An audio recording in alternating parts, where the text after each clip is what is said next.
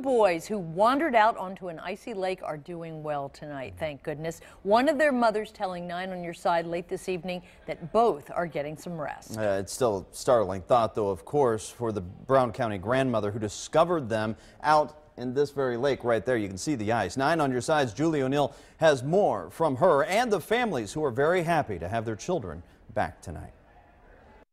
Well, here's where it all happened. The sun shining on Lake Lorelei today because all is well after a heart-pounding night in which two young boys came way too close to losing their lives.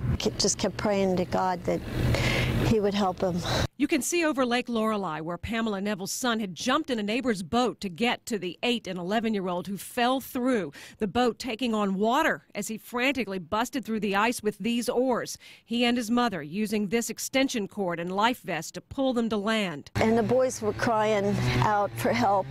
Pamela Neville would never have heard them had she not stepped out to empty a carpet shampooer. I'm still very upset, but I'm, you know, I'm thankful that everything worked out the way it did. Chopper 9 gave you this view of the incredible rescue scene that ended with the boys flown to the hospital for hypothermia, both now released. One of the mothers telling 9 on your side today they are both doing okay, thank God.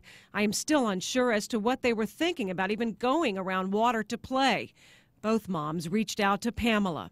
They both were so thankful, and I told them it's nothing.